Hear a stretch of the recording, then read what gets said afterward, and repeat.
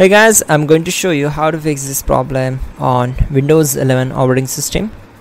It's very easy. We need to simply press Control plus Shift plus Escape key together to open Task Manager. Then we need to find out Windows Explorer.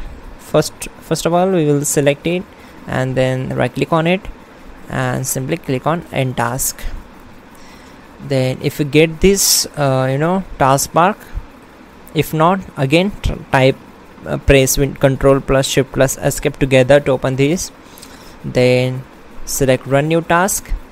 And on this window we need to type in explorer explorer.exe so here it is.